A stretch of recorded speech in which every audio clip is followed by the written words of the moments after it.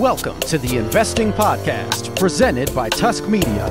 Now, for your early morning look at financial news and activity in audio and video form, here's the Morning Market Mimosa.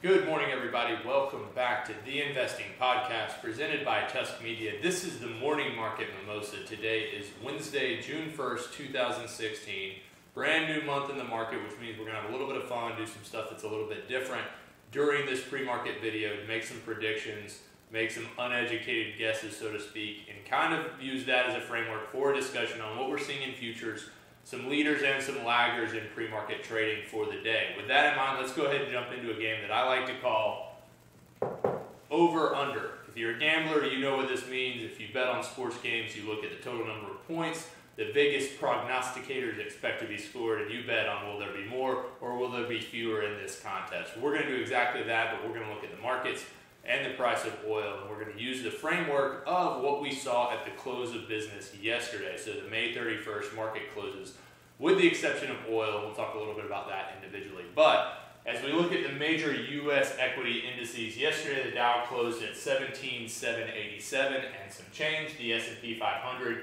was just shy of 2,097. The NASDAQ was at 4,948 and a little bit more than that. Oil, meanwhile, has been hovering right around the $50 per barrel mark. We've kind of been keeping an eye on that. That's been something we've been looking for really for a while. We've seen oil get as low as the $30 range. The last 18 months, it hadn't really been up to this level. So now it's up there. We're really excited about it being there. It's obviously helped out oil stocks, the energy sector as a whole, and the market. And that's part of why we had a positive market month in the month of May. This month, I anticipate for the month of June, not necessarily a runaway market, but I do expect that by and large, the market as a whole is going to yield a positive return. But I think the other thing that we need to keep an eye out on is something that we saw yesterday, and we talked about this at length in the Investing Happy Hour video on 531 2016 I do think we're going to see some dispersion among the major benchmarks in the U.S. equity market. So last month, the NASDAQ really led the way. It was up more than 3%. Contrast that with the Dow, which was technically down for the month. You saw some good dispersion. We've also seen that year to date. Again, if you check out the Investing Happy Hour video from May 31st or the podcast from May 31st, we talked about that on a monthly basis and a year to date basis.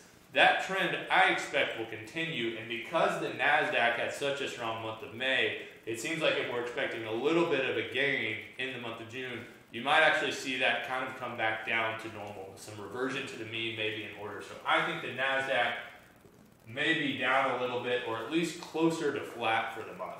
The S&P 500 and the Dow, meanwhile, I think will be up a little bit. Now, it's important to note here that we are not making a prediction here other than just for the sake of entertainment value and having some fun and giving us something to talk about. So don't go home don't place bets on this. Don't bet on anything, but especially not on one of our over-unders.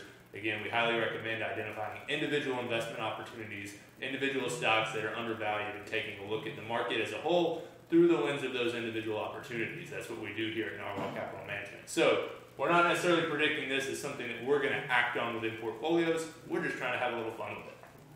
Oil, I think, is going to get up above that $50 threshold, and I think it's going to stay there. I'm not going to put a price target on it because even if you start to say about talk about a three or a four dollar move, all of a sudden you're talking about a six to eight percent bump, and I think that would be a little bit strong. We've seen oil climb for four consecutive months; it was up seven percent in the month of May. But to expect it to continue to rise at that rate might be a little bit bold. But I do think oil goes up, and I think that continues to drive the energy sector and the markets north just a little bit. Again, we're not putting a predictor number here. But as we look at this, I've already contradicted myself because market futures are down as we open up on June 1st. Everything's down about a third, of 1%, the NASDAQ, the Dow, and the S&P. As we saw yesterday, futures certainly don't necessarily guarantee what's going to happen during the day, but sometimes they do set the tone. One company that is setting that negative tone, so to speak, is Under Armour. So the athletic apparel company basically came out yesterday and revised their total full year sales number. They revised it down from $5 billion with a B to 4.93 billion. Now, that's not a huge swing numerically speaking, but Under Armour is not a company that's usually valued based purely on numbers. So they've got a lot of intangibles, things like great athletes, whether it's Steph Curry, Jordan Spieth, Bryce Harper, Michael Phelps. They've got Cam Newton. They've got a lot of guys kind of in their corner that give the brand a lot of appeal, makes it really popular, implies a really strong growth trajectory. They've also got a number of universities and major sports programs that use their apparel both for the utility of it as well as to sell their own apparel. There's kind of a niche uh, cult following to Under Armour supplies and things like that. So when you see that kind of growth, you look at those things, and for them to come out and say, "Hey, it's going to be a little bit lower," all of a sudden that number, even though it's a relatively small revision, means a lot. So the stock's down about three percent. On the other side of things, you do have Michael Kors, the luxury retailer, is up north of 9% today on an earnings per share beat in their latest earnings announcement. They also announced that they're buying back some shares. So you've got both ends of the spectrum. You've got a daily look at the market there, and you've got a month long prediction. Let us know what you're thinking. Leave us a five star review on iTunes. Tell us what your prediction on the over unders are. We'll tally those up. Maybe we'll get a little poll going on Twitter. Follow us at Tusk Media LLC. Be sure to subscribe on iTunes, on Stitcher, on Spreaker. If you're watching us on YouTube, hit that little subscribe button follow our blog, all that good stuff. Share us with your friends. We'll check back in a little bit with the stock market power lunch, and we'll be back at the end of the day with the investing happy hour.